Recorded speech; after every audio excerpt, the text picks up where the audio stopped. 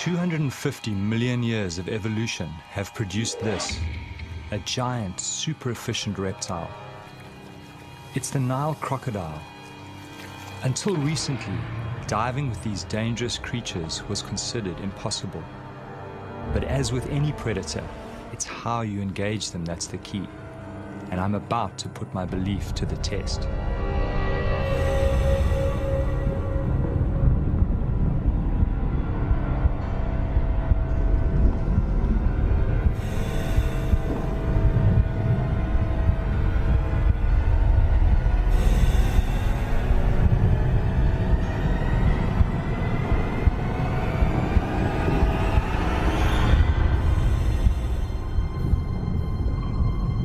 Decided to take a calculated risk.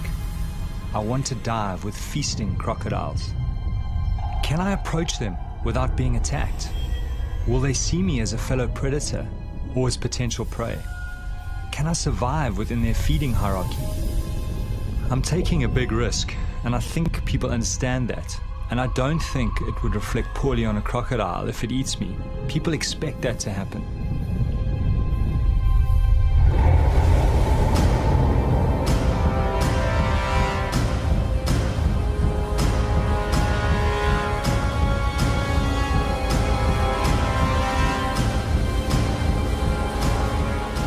My name is Roger Horrocks.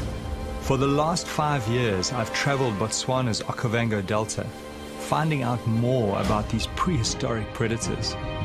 I've joined them underwater and discovered they are not just simplistic, ruthless killers. They are capable of an unsuspected tolerance. Now I want to test their ultimate acceptance by diving while they are feeding.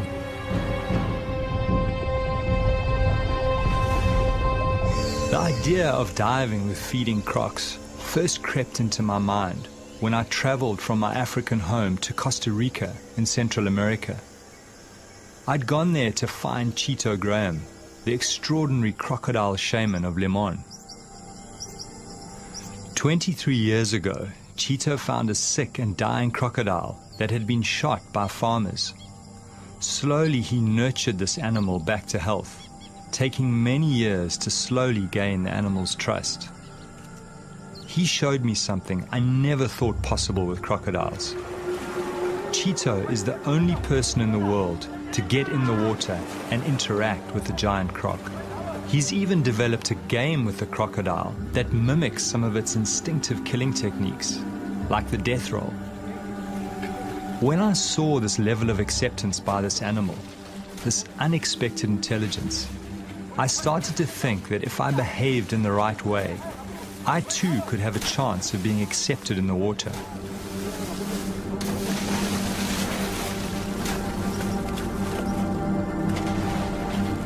As I watched this man and this predator together, it forced me to rethink crocodile nature, and the seed was sown to set out on my quest.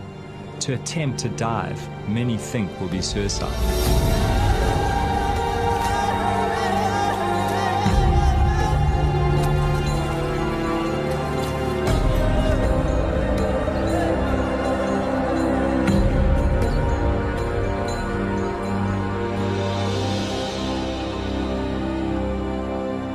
Particularly intrigued me was that somehow the croc can tell the difference between the food Chito gives him and Chito's hands.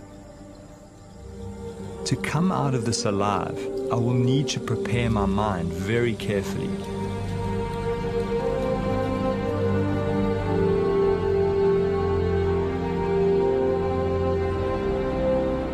Chito has worked at putting fear behind him and this crocodile's ability to pick up on his confidence just strengthened my desire to attempt to dive with feeding crocodiles.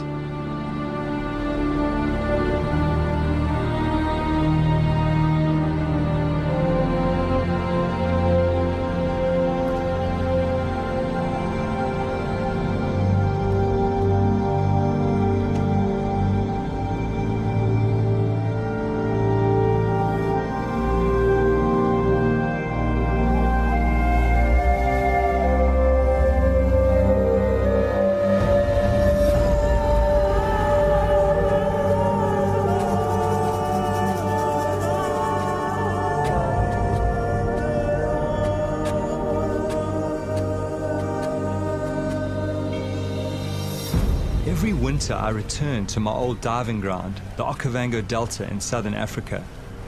In the swamp live some of the biggest and most aggressive crocodiles in the world. It's June, when the great flood brings the clear water. All my primal senses start to come alive as I prepare my mind and my body. Over and over, I'm at the feast, calm, unharmed.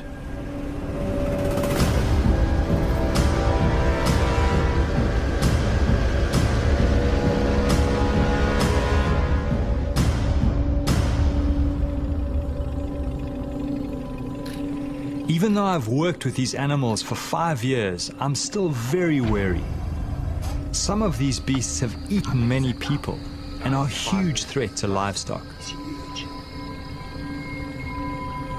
My theory is that reptiles, when feeding on mass, drop their territorial aggression to avoid injuring each other. This huge male is very aggressive and not an ideal diving partner. But I'm hoping that this behavior may shift when he is with multiple animals and can smell food.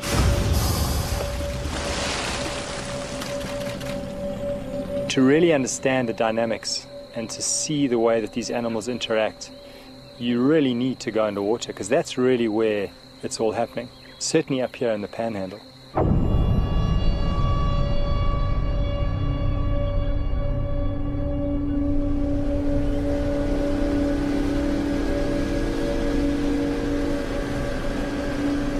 Greg Thompson is the top guide in this area.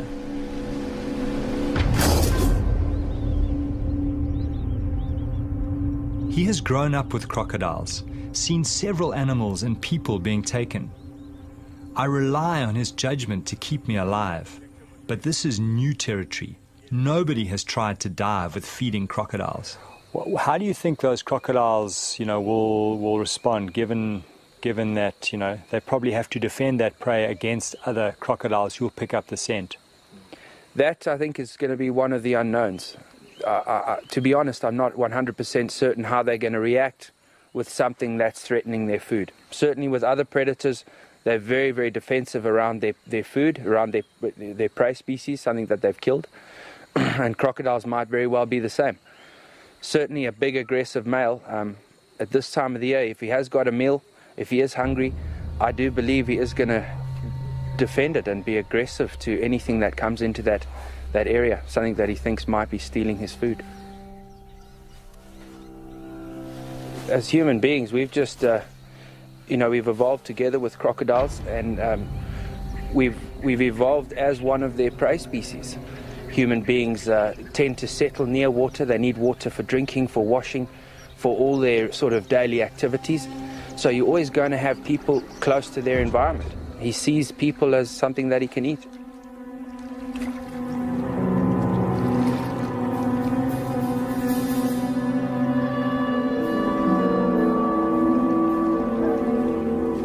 Greg takes me to a nearby village close to the river. Here, two women, a mother and a daughter, had a terrifying encounter with a crocodile while collecting food and building material for their huts. Resi Sashuma lost both her arms. She has a young child to look after. Mother and daughter now live by weaving baskets with only one arm between them, somehow surviving against impossible odds. The croc that attacked them was only about two meters long, but very powerful.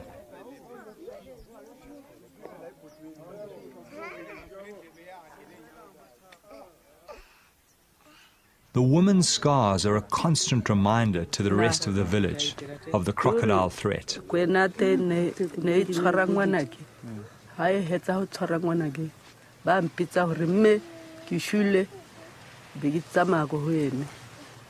be mutika hai mutika mese ate ndinye matapa kigobo gobo ate be na ore jana hu mutula kwa ko ko dina utsa ha na be ku yinula mo tshwara ki mo yinula jana ko ena yene be ita ta e tshwara letsogo la hae Their horrific story haunts me. Despite their loss, they have no wish to kill the crocodile. Somehow they accept this tragedy as part of living here. I wonder if only certain crocodiles attack people. I know that some crocodiles are more aggressive than others. Their personalities differ quite considerably. But there was only one way to find out. I go in search of the crocodile that attacked the woman.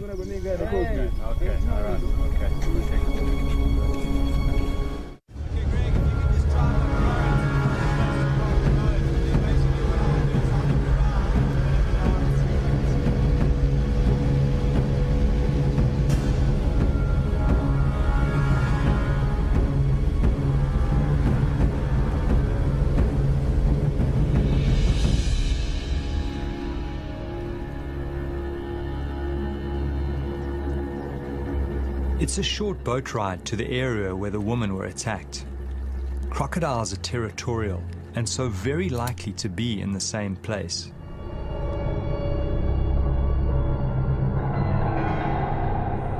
As I kit up, I have this strange feeling going in the water with this crocodile. I feel so sorry for the woman, and yet no ill feeling towards this animal, which was just responding to the splashes and noises of its prey. 85 million years of instinct. I always get underwater as quickly as possible and make minimal splashes on the surface. Fish are the main diet of crocodiles. They hunt them by letting them come close and grab them in a flash of speed. They hunt mostly at night in pitch darkness using a sensory system that picks up vibration. That's why I move very slowly in the water, very deliberately. I need to move like a big crocodile.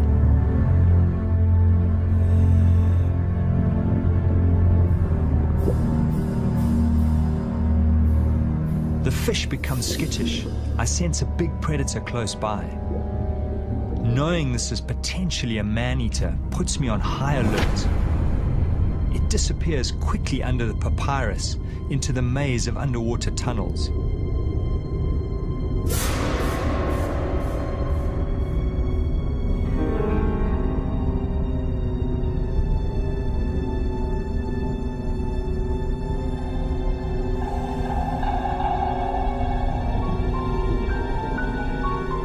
I follow cautiously. Some of these tunnels are kilometers long Inside, there are big caves hollowed out by hippos and crocodiles where they take prey to soften for eating. The lurking croc distracts me as I move deeper into the maze. As I turn around to exit, there's that terrible feeling in my stomach. I'm confused. Everything looks different to my entry. I'm lost.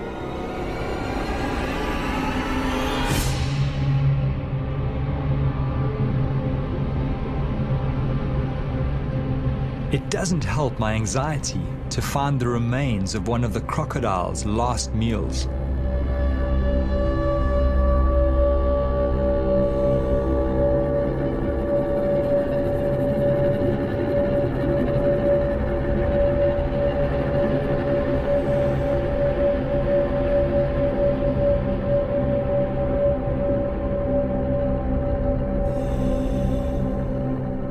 Distance, I see a glimmer of light that I hope may lead to the main channel.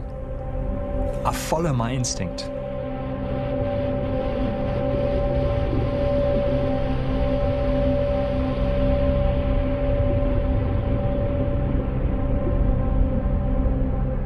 It's a huge relief to be back in the sunlit channels.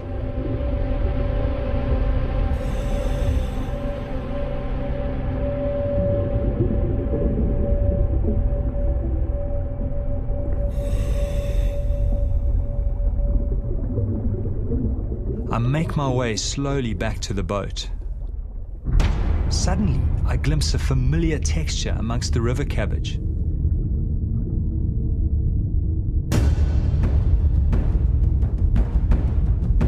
The crocodile has backtracked and exited the maze.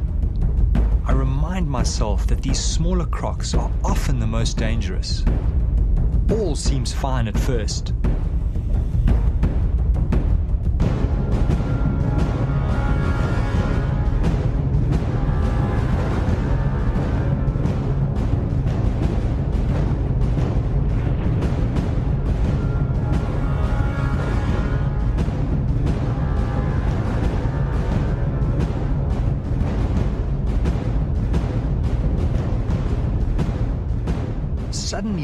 Turns on me, ready to attack. Then he goes straight for me.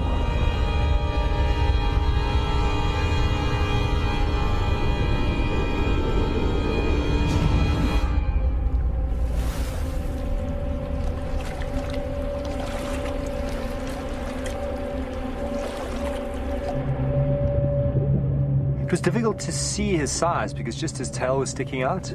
So I got a couple of shots of the tail and then obviously got too close to him.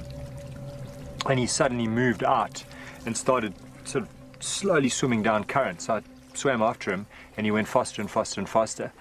Um, and I would say he was about a nine foot croc, pretty much my size, maybe just a little bit bigger.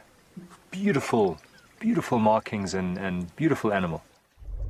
As we, we tracked down the main channel together, suddenly he got to a point where he just, he, actually faced off. He, he turned around on the bottom, kind of faced me sideways, and then all of a sudden he came kind of straight for me and, and passed me on the left. Um, so obviously you keep the camera up and you, you know, try and shoot. I don't think I, I don't think I got the shot, but uh, he, yeah, and then he, he swam past. But that was, for a moment there, I, I was out of control of the situation. I didn't know what was going on.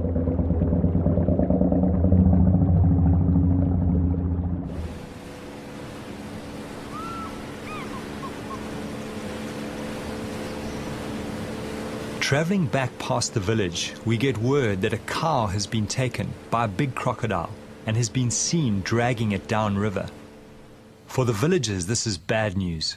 Cattle are their currency, their symbol of wealth. But for me, this may present the chance I've been waiting for.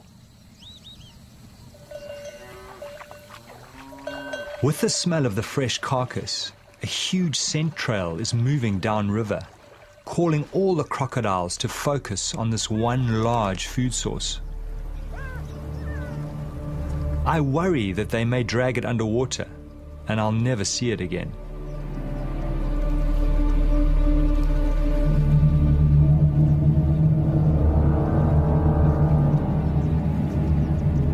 Seeing the animals around the carcass, I start to get a really uneasy feeling building inside me. Greg is cautioning me against getting in the water alone under these circumstances. He thinks these animals might see me as a threat to their food and attack.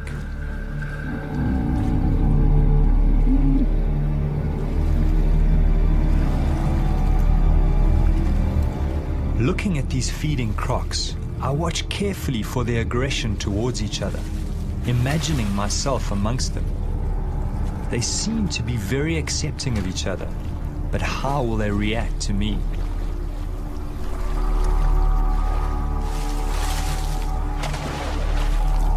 Of course, now this is a whole new situation. Now you've got a lot of animals. They're all keyed into food. They are they are competing with each other. There's a definite hierarchy at the at the carcass. The bigger crocs are feeding first, and they are keeping other crocs away. So if a diver comes along and he's bobbing along the surface, if he appears to be part of that carcass, they're going to go for them. So um, yeah, the guys, it's it's it's a very nervous situation. I need to try and put Greg's mind at ease. I decide to show him something else I'd experienced in Costa Rica, something that reinforced my belief that if you approach crocodiles in the right way, they can react well. What's your what's your sense of that? Look, I mean, there's still a lot of unknowns in, in what you want to do. Craig remained wary as I showed him what I'd seen in Costa Rica. I spent several days with a crocodile caller, Juan Betreo, who has built a remarkable relationship based on food with a number of wild crocodiles.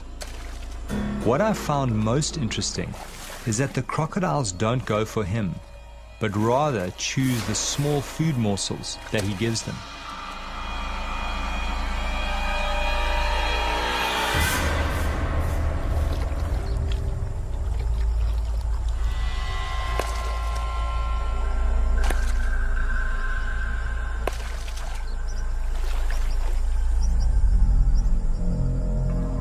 It's somewhat of a mystery why they don't take him, but this was what gave me hope for diving with the feeding crocodiles.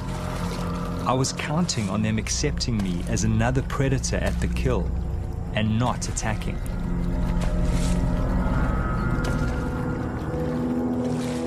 The crocodile calling art took Juan several years to develop. He slowly built the trust of the animals, drawing them closer and closer to his body. He was badly savage during this process, but somehow managed to survive and continue. Juan has even taken his relationship further, and the crocs allow him to touch them. He shows a side to crocodiles very few know.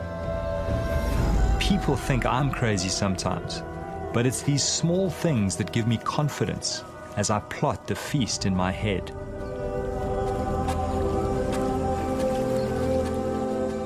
Greg remains skeptical. He feels the situation is quite different, as he knows African crocodiles to be more aggressive than their American cousins. I'm hearing Greg's worries. I'm sensing I need someone in the water to watch my back. There is only one person who comes to mind an old shark diving buddy. His name is Walter Bernardus and he's always wanted Walter. to dive Yeah. with crocodiles. It's Walter. Ah, fantastic. Let's get back to us. Walter, can you hear me? How are you doing?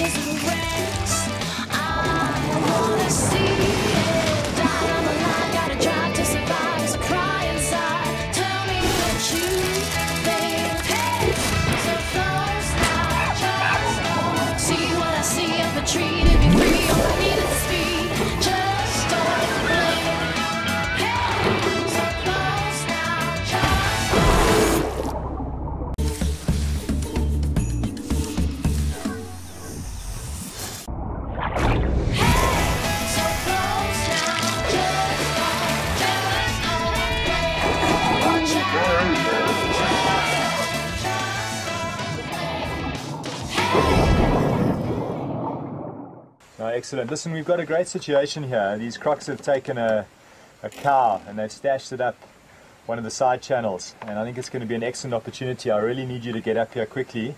And I think bring a medic as well because I don't know how these crocs are going to behave with food in the water. Uh, okay, great. Listen, Greg will pick you up in Maun. Okay. All right, Walter. See you soon. Great. Thanks, Greg. So he's coming. Walter has managed to develop extreme intimacy with giant tiger sharks. He worked out that by touching their sensory organs next to the shark's mouth, a catatonic like state could be triggered.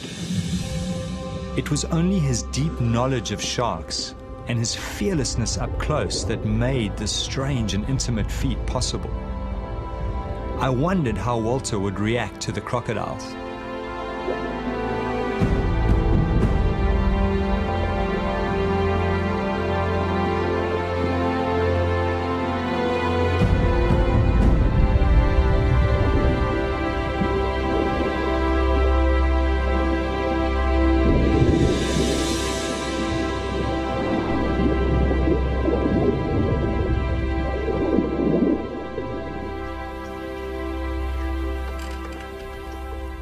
Now I'm stressed about the time. I need to get in the water as soon as possible to get Walter used to the crocodiles. I'm also worried because water clarity is dropping as the current is starting to decrease. Welcome, man. Good to Hey, good to see you too. Come aboard, man. Fantastic. Walter has brought with him Ainsley McClarty, experienced paramedic recently back from working in Afghanistan. Now there's no turning back. The fear starts mounting as we speak of what we face. The water pulls me, and at the same time, its depths haunt me.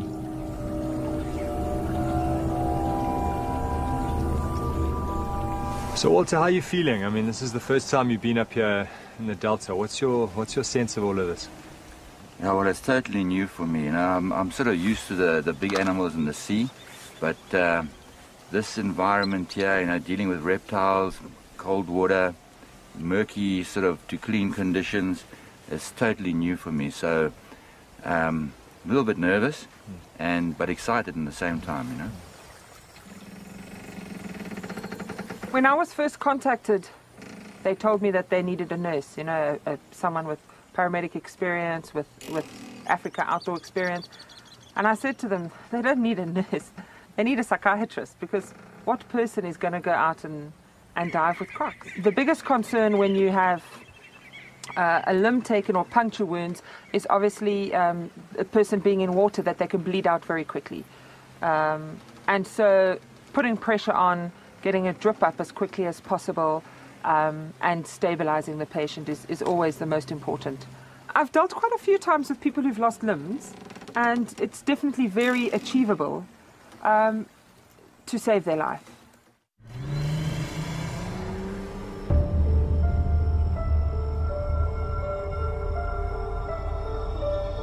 We probably have a 24 hour window to realize our quest. Once the carcass is finished, the crocodiles will disperse. We have to find the carcass and try to dive late this afternoon or tonight, even though it increases the risk factor. This might be our only chance. This is what I love most. This is my world. Fear is something I've learned to control and understand. The dark is part of our deep evolutionary past because for thousands of years, big predators hunted our ancestors at night. You know, it's hard to explain why we do it. Why, why do we do it? We do it for the excitement, we do it for the challenge. Um, and I, we, I realize that, that what we're doing shatters the, the perception that people have uh, of these animals.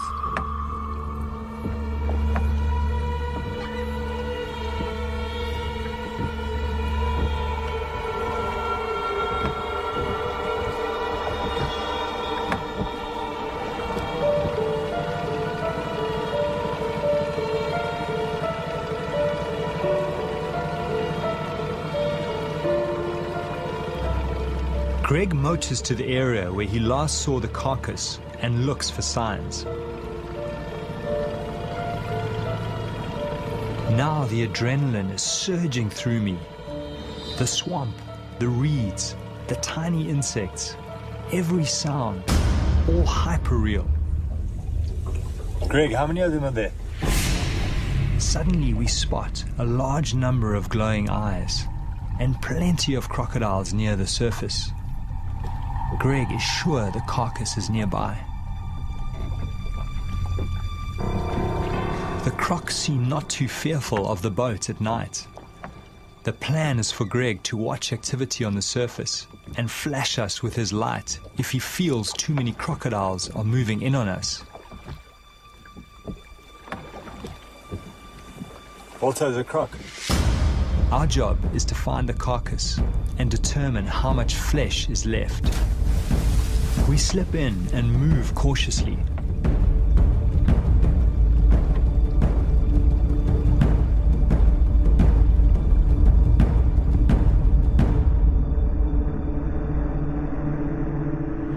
The crocodiles are patrolling the surface. We get underneath them and soon find the carcass jammed under the bank. Walter finds part of a crocodile's tooth broken off in the carcass bone. I was relieved to find some meat still on the carcass. Greg sees a large male approaching us from the boat. He comes to the edge of our light. There is something about this animal that gives Greg a bad feeling. He signals for us to get out. Greg senses that the croc is going to attack. There is enough flesh on the carcass to dive in daylight tomorrow. We get out. No point in pushing our luck in the dark.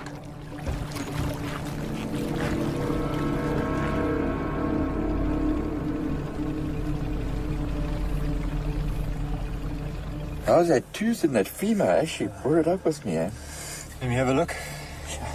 Wow, that's incredible. Obviously broke off when they were biting into them because their bite force is amazing. And apparently this ridge on the side is what they use to actually, when they lash out, you know, bash of- into other, other Now's a animals, good time to tell me about all that stuff, eh? Yeah, Oh my no, goodness.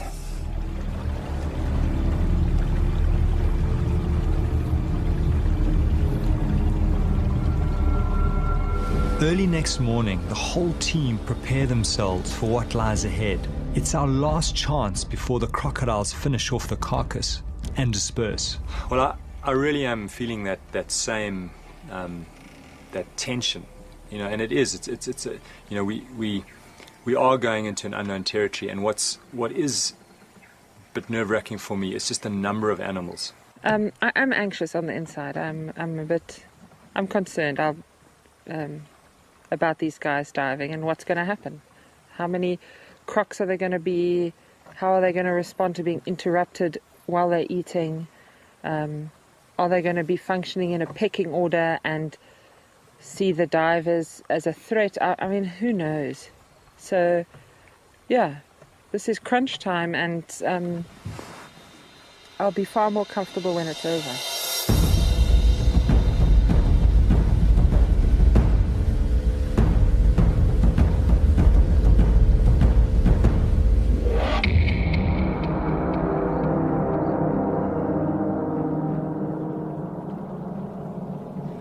As we approach the area where we saw the carcass in the night, I'm seeing more crocodiles than I've ever seen before.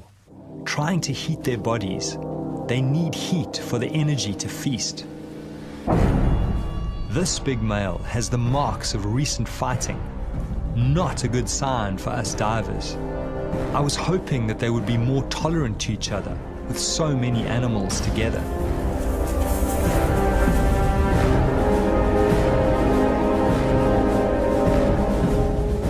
Greg spots them. I count at least 20 animals near the carcass. Knowing we are about to enter the water, my whole stomach starts going into a knot. I focus on breathing, put all the good encounters in the front of my mind, and push the nightmares away.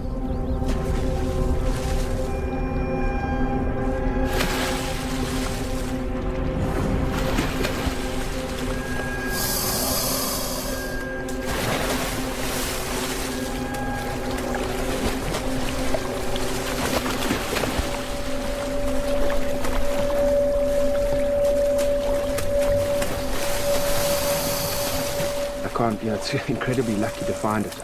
Often, uh, you know, once that animal bursts and the crocs start feeding on it, they'll take it under the papyrus and hide it. And there it's a perfect situation. It looks like they've pushed it into a little bay. It's in still water, it's sort of wedged up against a tree, and they've started to feed on it. I must say, Walter, I've got that same little butterfly feeling that I had when I first time I got in. Um, We're going to have a look, eh? And just be aware that uh, the smell of that rotting meat is like a magnet to these animals. They'll be swimming upriver, all coming to investigate the source of that.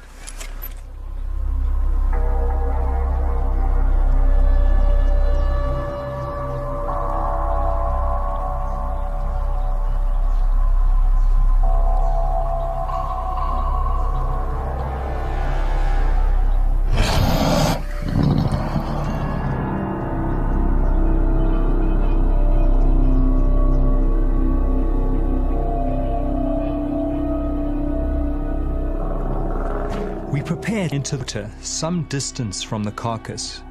Crocodiles don't like boats in the day. Just be careful, eh? As we enter, I'm startled by a crocodile right under the boat. I control my fear as I try to see where it's gone. The visibility is so bad, I can only see four meters, less than the length of some of these crocodiles. To make matters worse, the current is exceptionally strong. Should we abandon the dive? These conditions are frightening. I push my fear aside and move towards the carcass. Crocs seem to be everywhere, following the smell of the meat.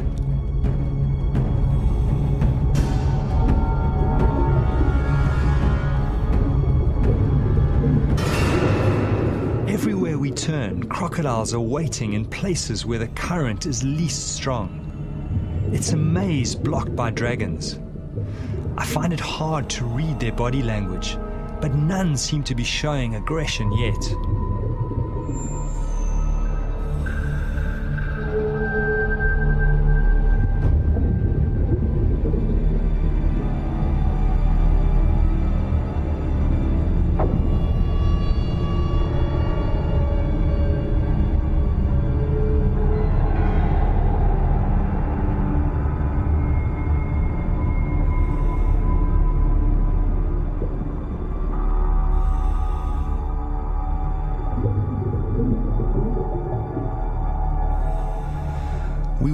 To go around. There are just too many here.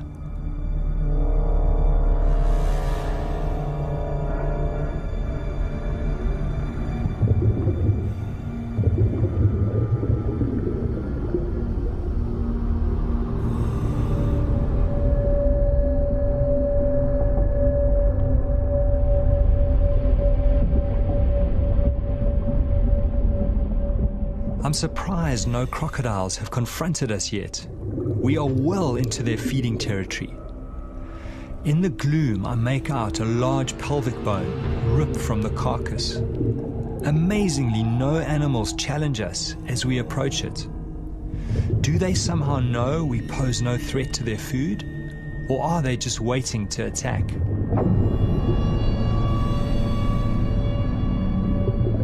A lot of the meat has been shredded and the animal has been gutted.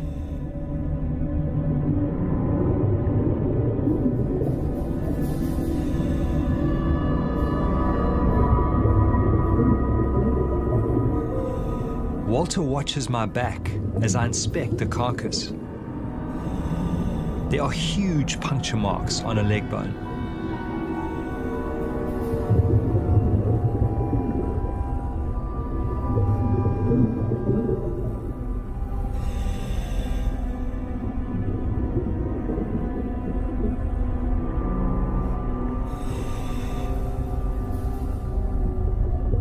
As Walter swims to the side, he sees a huge animal within a few feet of the carcass, watching us, waiting, assessing. The biggest challenge lies ahead.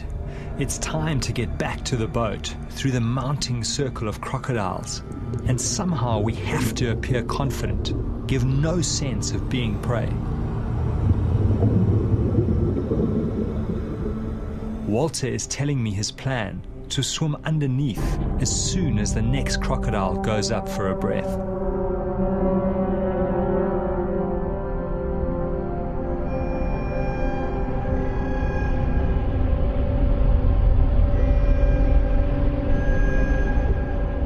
As we take the gap, we bump right into another huge male.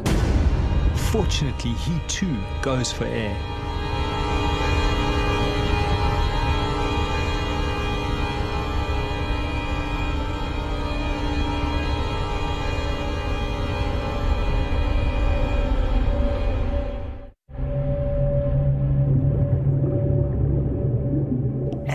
Swim through the maze of crocodiles, the strangest thing happens.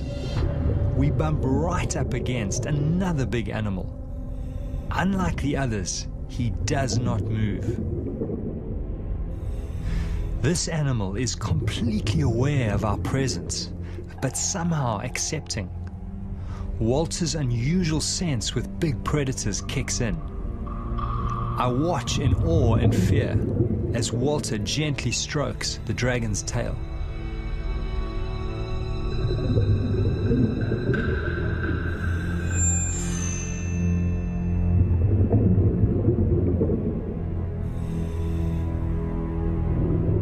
Then something happens that I could never have imagined. I watch in disbelief as Walter begins to ride the crocodile across the river in the direction of the boat. Even though the crocodile is slowed by Walter's heavy weight, it does not shake him off or attack. It feels like I'm watching some strange fairy tale as Walter rides the crocodile some 50 meters across the river. I have no explanation for why a predator allows such intimate behavior.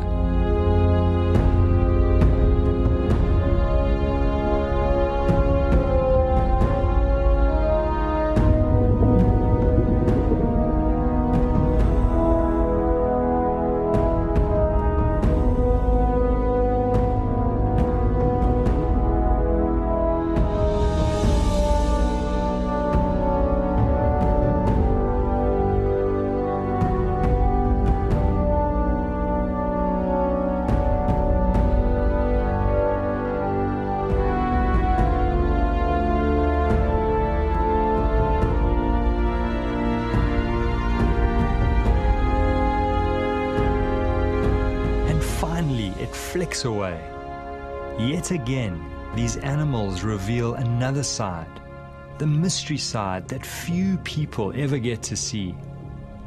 I'm humbled and awed.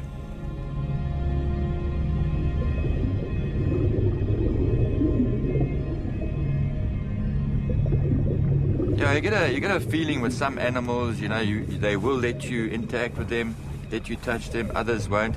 This particular one, obviously, I didn't know what it was going to do when I first touched it. I didn't know if it was going to turn around and try and bite, or when I s- when I held on properly, if it was going to have an adverse reaction. But it, it didn't seem to mind at all.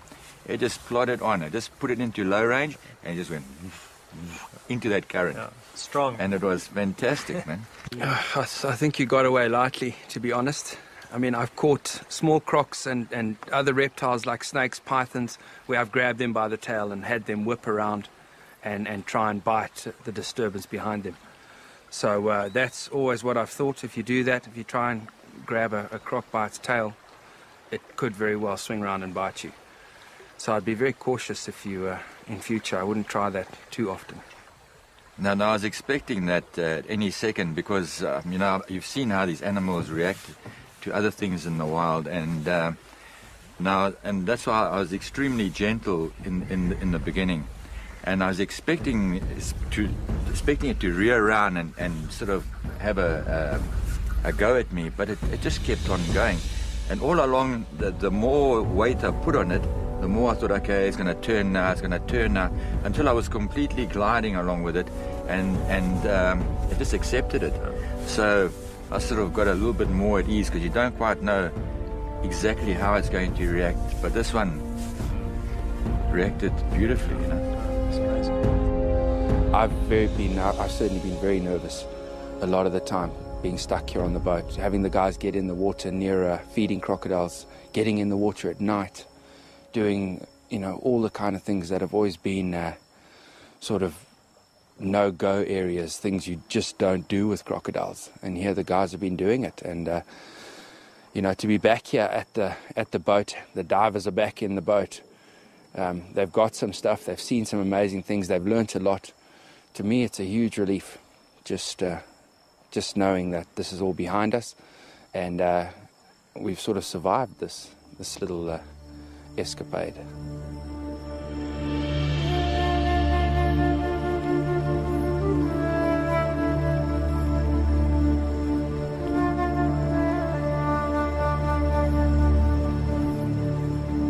You got to accept it that that coming out of the experience, you- you're not going to be the same as you went in. Um, something shifted, but um, it certainly, um, it certainly, I'm not the same person when I go home in a day's time. Well, I think when we first started diving with these animals, you know, it, the whole thing was would they eat us or not? And having kind of broken through that barrier, as it were, that's just broadened my whole perception of how intelligent these animals actually are.